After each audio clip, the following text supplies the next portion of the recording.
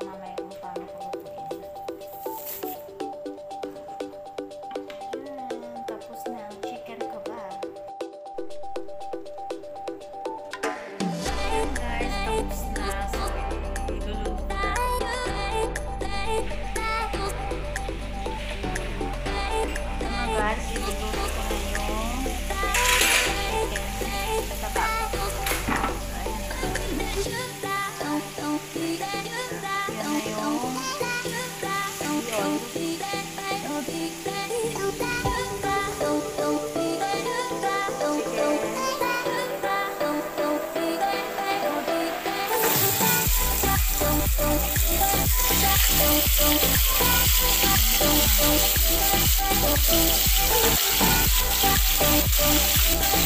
wala kayong ganito na pagbutuan, kahit ano na.